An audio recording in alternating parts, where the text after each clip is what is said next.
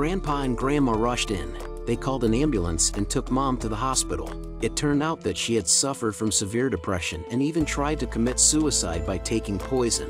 After that, Mom stayed in the hospital for psychological treatment, and I could only think of her in silence. This was the first time my mom and I were separated. Grandpa and Grandma took good care of me. Gradually, I learned to be confident and to greet my neighbors. Soon after, my immunity was restored. I was so happy when my grandpa brought the dog. I was so excited to play with the dog, but I still missed my mom. Looking at pictures of my mom as a child, I tried hard to understand her pain. So I asked my grandmother if she could help me cut off my long hair because I wanted to give my mom courage so she could get better as soon as possible. Grandma was so relieved that she was kind enough to cut my hair.